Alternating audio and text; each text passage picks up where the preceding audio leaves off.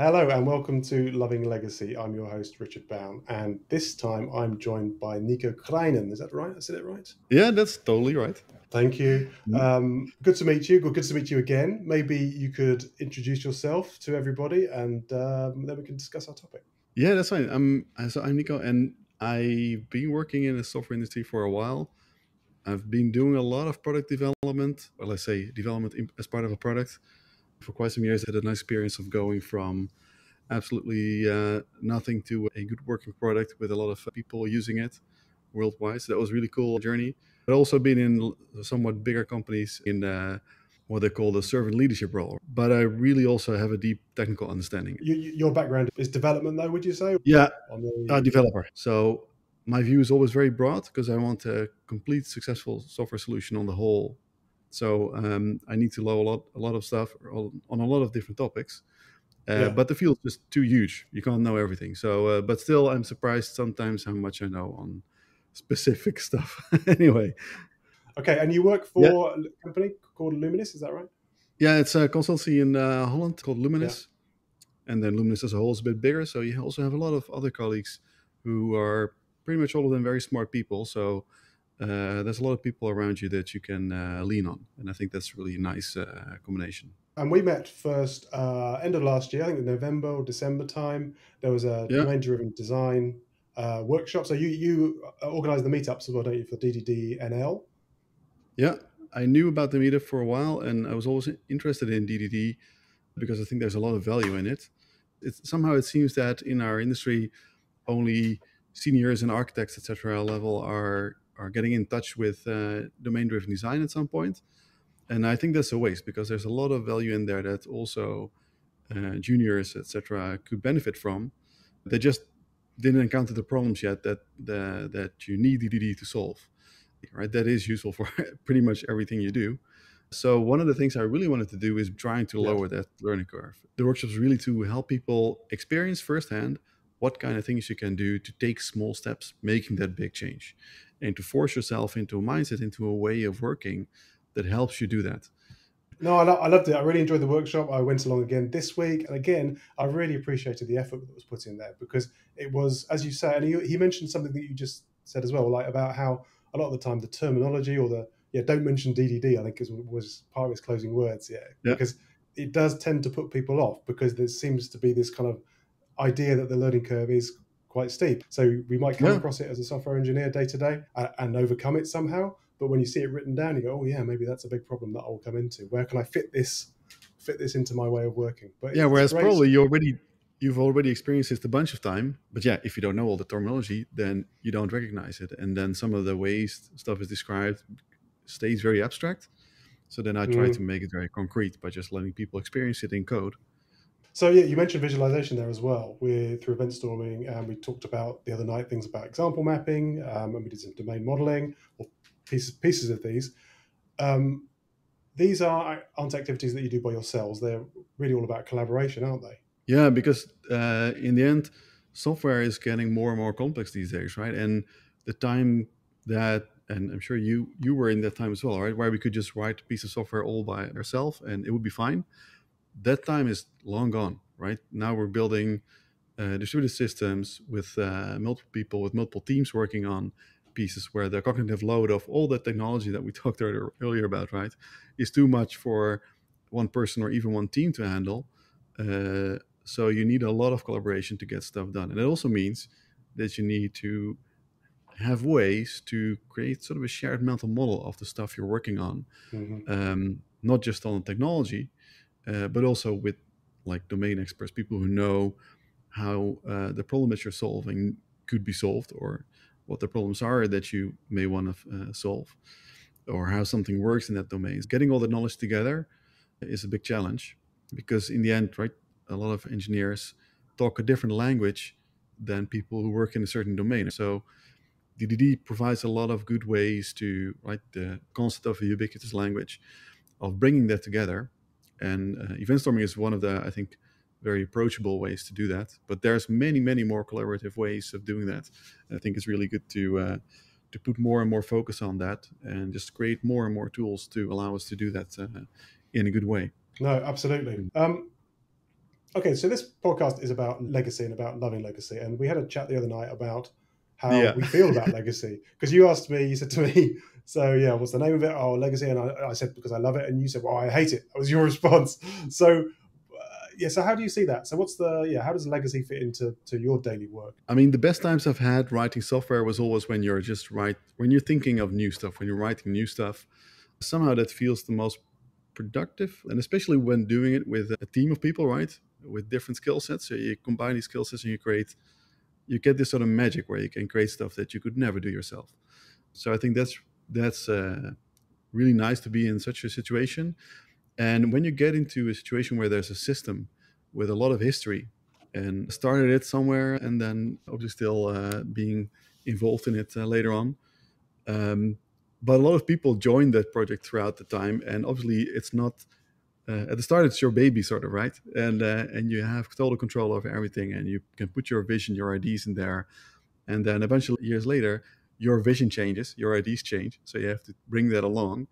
Yeah, you have to be very disciplined and very structured to make sure that it stays in a sort of in a good shape. But at some point, if you don't do that, it becomes legacy, right? And uh, legacy can have a lot of bit different meanings, but typically it means something that's not, at least how I see it is, it's a code base or a product that's not easy to work with anymore. You don't like being in it. You don't Mhm. uh, feel like it's uh, you're getting stuff done at at the pace that you would like to get stuff done, right? I like to go fast. I like to to build stuff and and be excited about those things and not feel dragged down by a big stone that you're dragging along. So that's why I hate it, right? And that's really why I don't want to be in that situation. But to be honest, all our industry is full of it, right? Because there's so many places where we are trying to go faster and faster and agile and faster, faster. And I think the big problem is that a lot of teams do not have the discipline to then go fast, but also go quality, right? And you have to have both of those because the moment you let slip of quality and that control on architecture and all those kind of things, you end up in legacy very quickly. So even if your your idea is, oh, let's just rewrite because this this stone is so heavy we can't lift it anymore. Let's just uh, start from scratch. That sounds very appealing, but in a lot of cases, if you don't do something about your mindset and the way you're doing that, you're just going to end up with another stone and you're dragging around two stones. Okay, so a couple of things there. First of all, you said the quality is is important. So I was going to ask about your approach. So typically, when you meet a legacy system, first of all, what, what are the smells that it's legacy, and secondly, what would you start to think about doing to improve that situation? Yeah, it, it depends very much on the situation. But let's say last year I was in a, a place where uh, a clear smell that I picked up, right? Because I just jump in the project and I I look around and to be honest, I wasn't there to fix the legacy, but I smell things, right? And then uh, one of the things I smell is okay, this this team is using a branching strategy that's way too complicated for what they're trying to do. There were two developers and they were having working on three releases at the same time. That's just totally crazy. Uh, and there was a, there was also a lot of meetings and stuff around it, right, to organize what goes into which release, and then have to rebranch and re lots of lots of wasted work. So then I go in and I say, okay, guys, let's not do this. Let's change the way we do uh, do things. Let's just move gradually, right, towards a more trunk-based way of working, because it's just two developers there. Even if we're going to add more later, let's try and get there. But we need stuff to make that happen. So one of the things they really needed is to get there was sort of a manual testing cycle that took a week. Uh, so uh, we got someone in and they started working on a uh, test automation suite, which took a half a year, right, to get it in place. But at that point, they had a, uh, let's say, fully automated regression test. So deploys to production could be done, let's say, after that ran, which was, uh, well, half an hour. So that's different from a week, right? So you you you change the ball game completely. At that point, you get to, into a very different flow of working, and things start to go fast again, right? So it's the way you work. So it's the branching strategy, but it was also uh, the way the pipelines were set up. It was also the way the testing was done, because there was good unit testing, right? But this wasn't enough to give confidence that the thing is actually going to work, because they were having issues with stuff going or breaking every time. Also because of the complexity of the branch strategy, not knowing what you're actually putting into production. So there's just one example, right? But there's just so many, Yeah. uh, many others. I mean, I remember that um, in another early project we had to replace Elasticsearch and we were still using a very old version of that. I just uh, didn't get uh, get around to upgrading it because somehow it wasn't important as all the features we're building, right? Uh, because we couldn't upgrade our Spring libraries anymore because the Spring Data Library we use for Elasticsearch it couldn't be upgraded because it couldn't talk to the old version anymore. So you sort of get this cascade of things that are holding you back. We couldn't upgrade the Java version because of that. There was just so many things stacking on top of each other. So we just knew, okay, this is, we have to tackle that thing. But it was going to be a big change, right? It's not a, an easy upgrade. But we just did it. We all, or again, took half a year to do that. But we kept the whole system working all the time uh, we had zero downtime do- deployments all throughout. We did, did, deployments twice a week, pretty much. So we did that whole migration, but in such a way that we could essentially get the whole new variant up and running and, and ready and tested, etc., before we do the actual migration of our production uh, environment. Uh, and that also meant that because a big problem with these kind of big changes is that while you're working on the big change, which is going to take half a year, right? Somewhere halfway there's going to be a super high priority business thing that comes by and it means you have to go back and work on the, the actual features because it's a system that's making money right? This legacy exactly. system is the place where where you where your business runs on. So you have to to do stuff on it right? Keep it relevant to your customers. To be honest we did the migration within uh, the complete migration we did in 10 minutes. We just prepared the whole thing in such a way that we could do that and that worked Wow. Okay. Well, the, the two examples you gave, a lot of your work is actually handling legacy in some way, in some form, either improving it um, or improving a process around it, or having to build something which which has got a legacy component already. So, like that in that last example. Yeah. So, and I still hate hate working with legacy, right? But uh, I refuse. Uh, I refuse to accept it. I think that's more the mindset, right? So I, I. I refuse to accept it as legacy if it's there, and sometimes the decision is to uh, to rewrite it, right? If you can do that, and the trade-off works well for you, then that's the way, uh, and that's also the way I do it in some cases, right? But in a lot of cases, you just have to uh, to make the legacy not legacy anymore, um, and that means bringing in discipline, bringing in ways of working that you do stuff in small steps, and even on a on a big uh, people call it a monolith, right? You can transform that into a modulith, like which is uh, which we call it nowadays. Um, in a lot of cases, just creating a good modular system that is even that is just one deployable unit or maybe two or three right? If you need some scalability in some places um, is way faster than all these other things. And than creating all yeah. these small microservices. Something i was going to say yeah I, I completely agree with you as well. I think that's absolutely spot on. You've got to pick your horse for your course essentially. Um, however there's a couple of things there. Um, first of all it is kind of inevitable these days that people want to build on Kubernetes. They want to have stuff. It's CV based development essentially. So a lot of the time, where companies make a decision because it's going to be, it has to be the latest technology to attract people to that particular way. Secondly, the around the way of working. So you mentioned in order to create or get rid of legacy or control legacy, you have to be very structured in the way you work, but also you need to be structured in the way you work anyway, essentially. So it's kind of it's not creating legacy is being structured as well as fixing legacy. So it's the same approaches essentially, for just from yeah. different balls of mud or scales of balls of mud. So I think if you work on something new, you you should also always do it in that way uh, as well, probably, right? Because uh, otherwise, you're going to end up with with a legacy which you don't want to be uh, want it to be. But still, in our industry, I mean, how many places do you see that do not have some legacies? I think as an industry, we're we're still definitely not in control here yet. Um, and uh, there's a lot of knowledge, right, on how to do these things better, but somehow we're not managing to apply it. So that's also why I think why I'm talking at conferences and spreading this knowledge because I think it's important to help the industry to realize this and also to find ways to get it under control, right, and help people get it under control.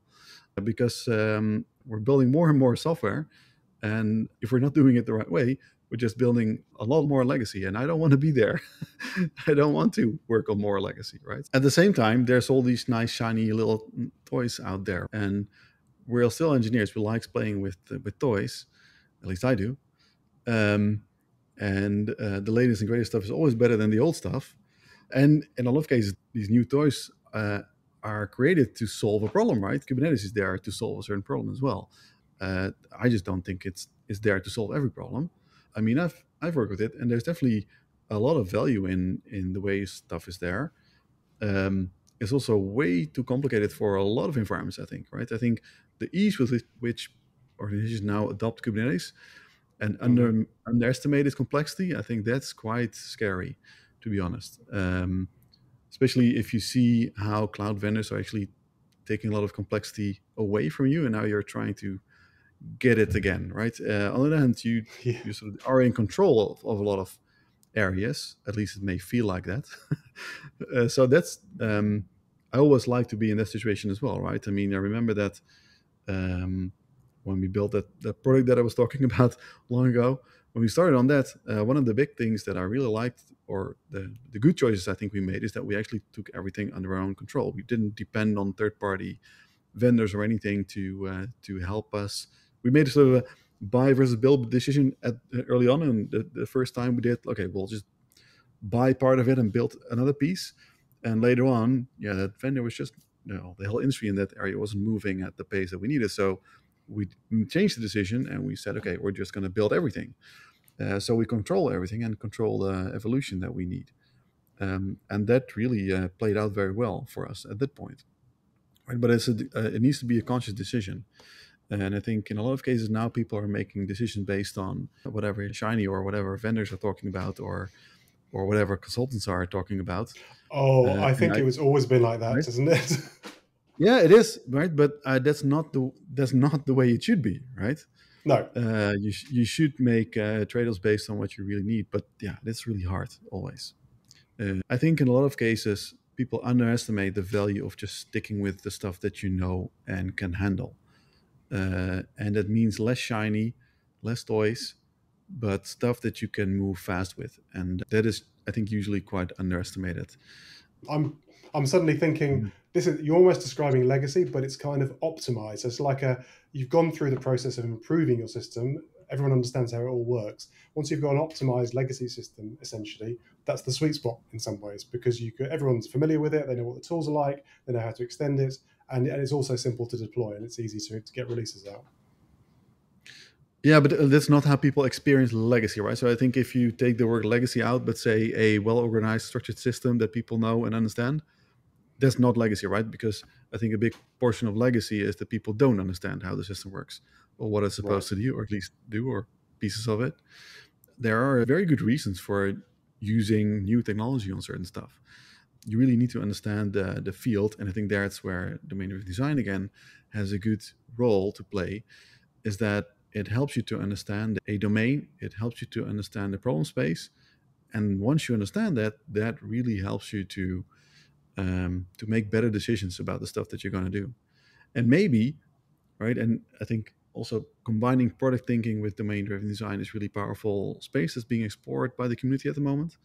I think that is even more powerful because then you're also starting to uh, think a lot about okay, what's important for our users, even makes the decision more targeted. And then maybe there are cases, which because uh, I experienced them, where it's good to use some experimental technology to do something that nobody else has ever done because it's going to put you in a space where nobody is and where you can solve problems that nobody else can solve. And obviously, that's a, from a business point of view, a very good place to be. So, uh, if technology helps you there, then maybe that's the, the thing you have to do, right? But then you have to be conscious that it's going to be a trade off, right? It means you have learning curves. Or you make it an experiment. You just say it's a mar- it's almost a marketing experiment. you throw it away. So if it doesn't work, yeah. fine. We, we we move on fast.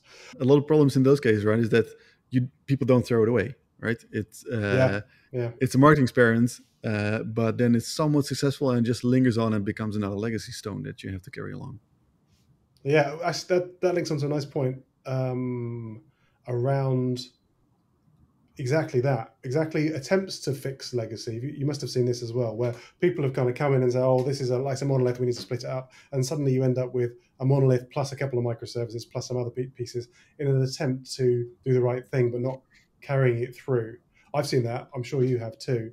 Um, yep. It's in that at that point you're kind of screwed both ways aren't you because you kind of you can get you can get a system into a point where you can't really go anywhere with it you at that point you have to just throw it away or just leave it you know, because it becomes a bit of everything. It's a Frankenstein.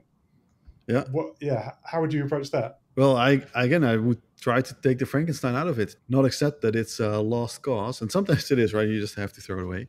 But to be honest, I think in a lot of cases, people don't realize that you can still make it work, right? But you have to then probably make sure that you start rewriting the parts that really nobody understands anymore. Get the team, like the developers and the domain experts together and have them solve that piece together so everybody understands that part of the software anymore. And then you probably don't need the old part anymore and you can turn it off and then you have to uh, pick out pieces of that legacy part and uh, and chop away at it bit by bit. Just go back into that for one minute, because uh, you defined a legacy system as something which is not supportable anymore. Was that right? No, so there's a, a, bunch of definitions, right? I think Michael Feathers has a nice, nice one where he says, yes, a legacy system is just a system that doesn't have tests. Um, that I think in a lot of cases that's the case. Yeah, a lot of people systems without tests uh, become legacy, but it's not necessarily the case. What I've seen so far is usually the point where people don't understand how a system works anymore. Uh, and that can have a lot of reasons, right? It can be because there are no tests, because then, uh, or because the tests that are there are really poorly written. In some cases, it's because the people with the knowledge about the system left, or some new people joined that have a very different idea about what it should be, start changing it, and then only do the change halfway, you could say. So you get sort of two systems or two different ways of working in in one. That's also what, what we talked about earlier. Systems nowadays are very complex, right? Distributed systems where multiple people are always working. Uh, it's not just one person working on it.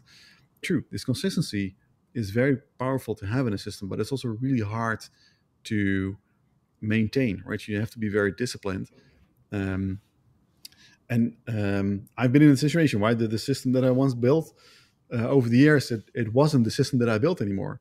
Also, it, didn't follow the principles that we set out at the start. I mean, we wrote all the documentation about uh, architecture principles and those kind of things that we wanted to follow, but new people join, and at some point, there's multiple teams working on it, and uh, there's just no way you, you can completely control that, uh, especially if you try to do it like through things as documentation, because yeah, whoever finds and reads these things anyway. So I think one of the things that I'm also trying with these workshops is automated ways to enforce these things, right? So um, in the workshop, you encounter something that's called uh, ArchUnit, which allows you in your pipeline check or your compile time or test time, check that uh, the architecture that you have in mind is not violated. Uh, so these kind of things really help to also help juniors that started on a, on a project or even other uh, other coders that have a different ID to to understand why these things are there, right? Because there's something that will prevent them from uh, building that version of the code if they if they don't follow the the intention. So yeah. again, it comes, it comes down to discipline again, um, and that's that's hard, and also not a comfortable place to be, right? Because uh, discipline takes effort. Uh, just doing your thing is a lot easier.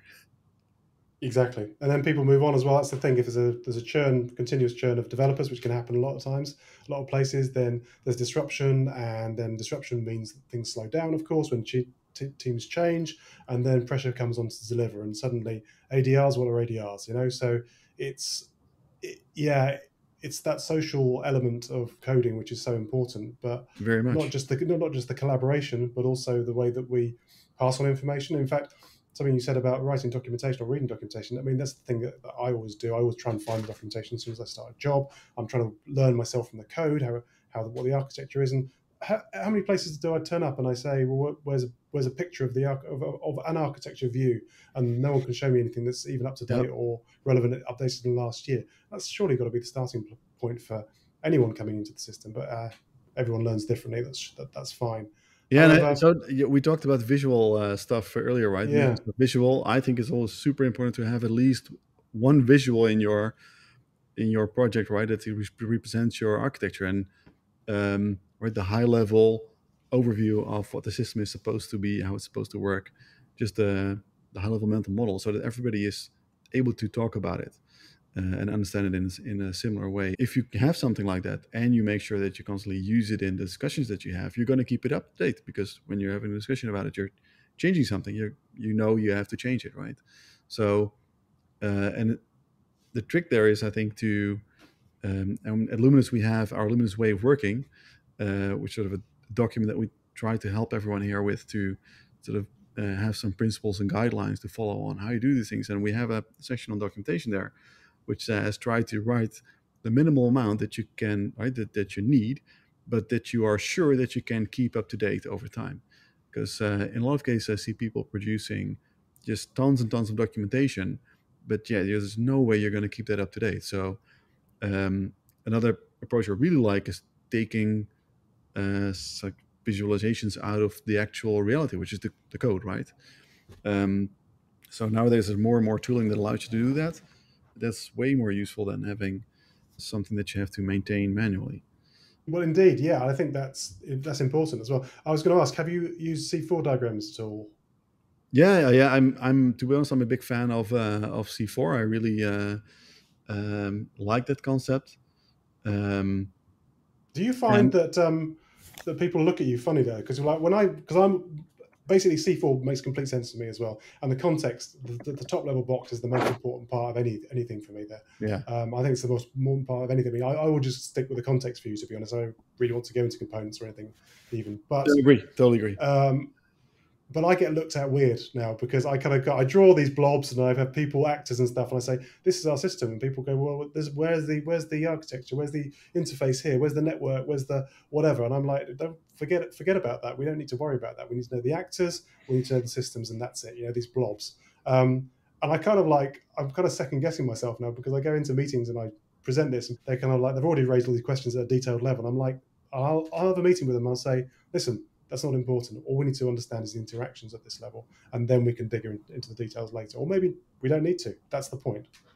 Yeah, and I think like C4 does it pretty well, right? And you have the system level, and that uh, the container level is usually quite useful still as well.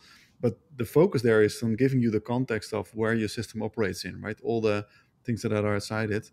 Um, and I think C4 does it on a like more technical level, or you still see the actors.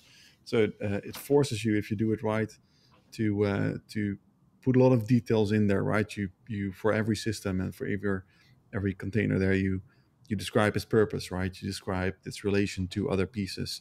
You describe the kind of technology that it's using. But it gives usually a lot of information already. Um, at least when you come into a project, I think a lot of I, I see a lot of my colleagues also they create these kind of diagrams when they come into a project just to get an understanding and they enrich it right they give it back to the project to make sure it, it stays there I actually had a talk with Simon Brown the last year uh, at one of the conferences where we ran into each other, and um, so I was playing with the idea of of wouldn't it be nice if we can have this sort of always up to date documentation also on that level, right? And uh, so I had a discussion with him about it, and the outcome that we came to is that well, actually, the real value of that kind of high level diagram is not so much having an up to date version of it; it is drawing it together with the people working on it, right? And that act of drawing it yeah, you sort of bring up the knowledge from the group, right? You get all the knowledge about how the system works together, and you create a shared mental model. And uh, I think a lot of collaborative techniques, also in domain-driven design, do that.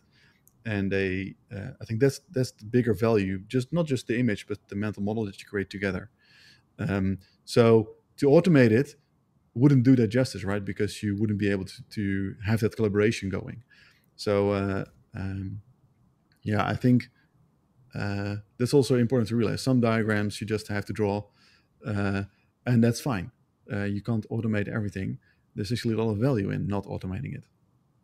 Exactly, it drives a conversation. That's the whole point, I think. Yeah. Yeah. Um, so apart from C4, because C4 has some, is it the Structurizr tool or the framework as well, which allows yeah. you to. Um, yeah, really cool stuff. There's some there's some more kind of uh, loose loosely coupled ones, I suppose you could say, which allows you to just draw the diagrams without having to set up relationships and stuff, which is cool. Any other tools that you would recommend as well, or, mo- or models um, that you use? Well, yeah. So I think in this space, like giving context about a system, what I think is really useful to draw a context map, like from DDD, which essentially is like a high level context overview of a system, but then more focused on the communication patterns between systems and especially also between teams, right? Because uh, context maps are a lot about the organizational structure that you're dealing with. Um, and then you draw them from the point of view from the team, right? And then looking outward, what are the the other systems and teams that we're uh, that we're dealing with, and how what is our relationship there? And uh, just being aware of that, being aware of what relationship you have. Like, are you downstream? Are you upstream? Uh, are you going separate ways? Like, all these things are important to understand. Or if, do we have a shared kernel? These kind of things are important to understand because it gives you a mode of operating uh, on that relationship. And being aware of that is really important. And I think in a lot of cases, people are not aware of it, right? So, and that leaves them to maybe communicate or expect things that are not to be expected of that relationship. So creating these context maps is, uh, is I think, very useful as well. So I say, yeah, uh, a high-level C4 diagram and a context map. I think those were would be the, the good ones to get a, a feel for uh, how uh, well would I when I would onboard on a on a team. It would be lovely if we would have these things. And then I think the other thing you really need to have is like a business model canvas for the part of the uh, the, the part that you're working on to understand okay what is the business you're trying to do why are we actually building this system so these kind of things just to to give you an understanding on the the business domain that you're working in don't see them being shared in a lot of places but yeah, yeah. i think it would be great if every project would have those yeah you'd hope so but yeah again i think the, the temptation is always for everybody to prove their worth on any project. And people who are kind of uh, developer, either your developers or your BAs or whatever role you play, project managers, everyone wants to show that they know stuff. So they they want to break out the tools, they want to break out the low level stuff and get diving on details and show activity through busy work a lot of the time. And this kind of helicopter view, context view kind of stuff is it's rare it's rare to see and it's it's a shame I think because yeah all the stuff that we've talked about the yeah finding legacy, building legacy before even yeah. you built anything, you know, comes through rushing ahead a lot of the time rather than taking a bit of time, stepping back and just saying, okay, what are we trying to achieve here? And can we agree on that at least through this collaborative process? And then again, we don't want to get the uh, impression because that that's also an impression that a lot of people have from domain driven design that it means you start to do a lot of design up front. Uh, but actually, that's that's still not what you do. You really try to do it iteratively, right? You do it small, you do a bit of thinking there, but then you try to bring it into practice and see if it works, because then you'll learn whether it's actually the case. So uh, uh, definitely a bit more thinking up ahead, but not too much. Awesome. Um, brilliant. Well, Nico, this has been brilliant. I will, I will share a few things I think with our listeners. Um, you mentioned this thing, the Arc uh, plugin um, in the pipeline. ArchUnit. ArchUnits, yeah. So maybe you could yeah. share the link with me for that. That'd be great. Yeah, sure, we'll do. It's, it's a that that sounds really interesting. I want to dive into that myself. I'll share a couple of other links about various things, including the, the DDD meetup and, and DDD Europe. That'd be great. Yeah. I'd just like to say thank you so much for joining me. It's been really good fun. Yeah, same here.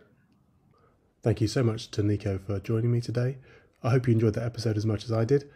I will include in the show notes links to Nico's speaking engagements and his workshops, and Please join me again next time on the next episode of Loving Legacy. Until then, goodbye and good luck.